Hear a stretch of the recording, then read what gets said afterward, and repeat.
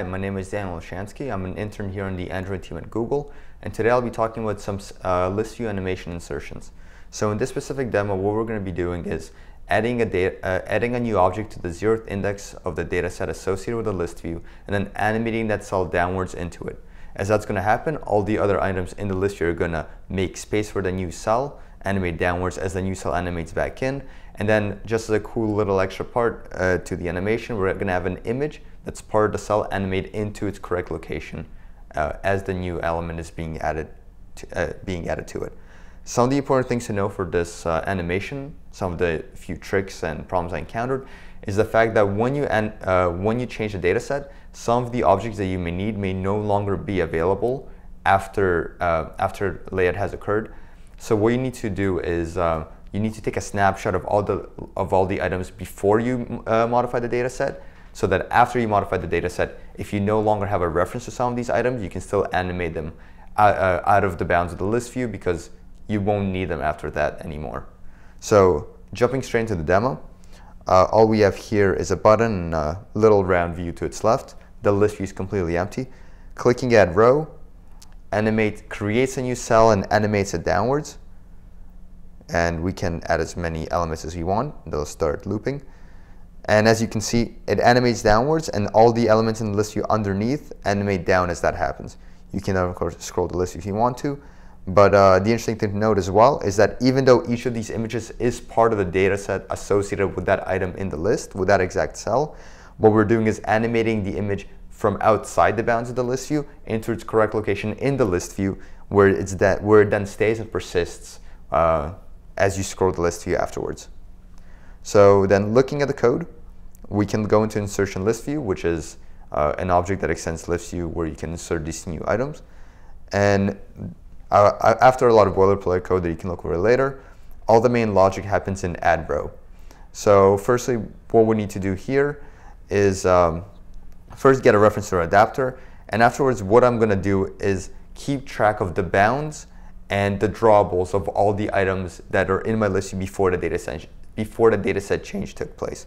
So I'm gonna loop, I'm gonna loop through all my visible cells and I'm gonna take a screenshot of every single cell. I'm gonna store that. I'm also gonna take, uh, retrieve the bounds of every single cell and store that in a corresponding uh, hash map as well. So now, regardless of whether or not those cells are still there after the data set, uh, data set change has taken place, I'll still have a reference to them. Uh, then when you move down here, I create, uh, I actually add the new object to my data set and uh, add a stable ID corresponding to that thing, uh, corresponding to that item, because in my array adapter, I've specified true for stable ID. So that means I need to make sure that a new stable ID is added to that element. Uh, then I notify dataset change, which will request a layout on behalf of the list view. But since I want this to animate, one of the one of the common tricks that have been used for a lot of these animations is using an on pre-draw listener. So once again, on measure and on layout have already been called. All the final values for all the for all the widgets in the list uh, contained within the list view have already been calculated, but have not been drawn to the screen yet. So this is where any custom animations you want to do, you can do them here since you already have a reference to all the final values. So going into on pre-draw, we remove the listener and create a new array where we're gonna, a new array list where we're gonna store all our animations. So firstly, since I know that I'm adding a new cell to the zeroth index, I, uh, that's the view that I'm want to use uh, for, for a lot of my calculations and animations. I, uh, I retrieve, and then uh, what I'm creating is creating a copy image view because I can't actually, can't actually animate the view that I need from within the cell, from outside the bounds, and put it where I need to. But what I'm going to do is create a new copy image view that has the same content as that uh, as the cell itself, as the image view in the cell itself. And then I'll just animate it into place and then get rid of it when I don't need it anymore. So when I'm animating a new row, one of the other things I do is just animate the text associated with that cell uh, it in as it animates down. And uh, in regard to the image, there's some math that I need to do to determine where it starts and where it has to end. But after all of that is gone, after all of that is done, all you need to really know is that the image view in the cell has to be set to invisible while the animation is happening, while the copy image view has to be visible. Uh, I add a, I use an uh, overshoot interpolator and scale the X and the Y properties of the image view just to get this little cool popping like effect. And then I animate it into place in the new cell view. And once that's done, I can then, I, I can later at the end of the animation get rid of my copy image view and set the visibility of my normal view back to normal. So scrolling down further more, this is once the data set change has already been modified. So then I'll loop through all my visible children of the list view at this point, and I'm gonna have there are gonna be two types of children that I can that I'll be working with. Those that have those that have a corresponding uh, bounds in the in the hash map I stored originally, and those that don't. If if they do have a corresponding bounds, then what that means is that they were visible in the list view before the animation, and they're also visible in the list view after the animation. So all I need to do is create an object animator that translates it from its old position to its new position. If I don't have that start bounds, then what that means is that this is, in the context of this, uh, of this demo, that there's only one cell that can have this uh, configuration. It means that it wasn't in the list view before, but it is in the list view after. And since we're only inserting one new item into the list view, this has to be the one at the zeroth index.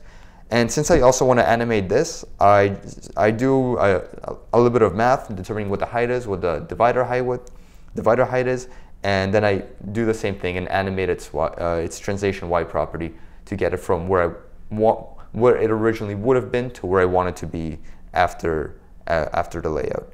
Then of course, since I don't need these edits anymore, I remove them from my hash map. And then scrolling down here, if I loop through a key set of all the items that are left in my hash map, what this means is that these are items that were in the list view prior to the dataset change, but are no longer visible in the list view after the dataset change. So these involve items that have been uh, moved outside the bounds of the list view due to the, due to the insertion of the new item. And since these items are no longer contained within the list view container, what I need to do is use the bitmap drawables which I've captured from before overlay them on top of my list view, and then animate their bounds as if they were still on, they were still in the list view. Uh, there's, uh, since I'm animating the bounds, it's important to know that every single time the bounds are changed, I need to invalidate my view in order for that portion of the list view to get updated. And in order to make that a little more efficient, I, um, I, I, I call invalidate with a rect inside of it such that I don't invalidate, re-invalidate the whole list view and redraw the whole thing every single time only one of the bitmap drawables has animated. So I set up those animations for every bitmap drawable.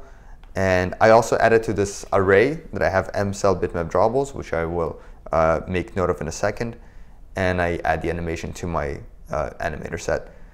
I, I animate all this together, and then at the end, I do all the default things like make my list view enable again, get rid of, uh, make the make the image view in the actual cell visible again, make the copy image view invisible, and uh, things like that. So now here in dispatch draw, this is where I'm going to use that array of all the bitmap drawables corresponding to the items that disappeared. I'm going to loop through all of them and draw them onto the canvas every single time dispatch draw is called. Uh, one of the important things to note here is that I'm checking if the size is zero just to make sure that there are no um, extra allocations done using this using uh, the new Java for uh, object for loops. And uh, looping down furthermore uh, scrolling down furthermore there's just some checks. I'm checking whether I want to animate in the new image or not. So for example if I were to scroll down here and then add a row I'm not at the top so I'm not going to be adding animating in that image. Whereas if I'm up here that new image view will be animating uh, down down here there's just some more code of how I'm taking snapshots of the list of the list view cells and how I animate them into place, as well as how I'm doing how I'm getting absolute locations on the screen when I want to know where that extra image view needs to be when I decide where to animate it to. So that's pretty much it to how you can insert new cells and animate their uh, animate their addition to your list view. Thanks.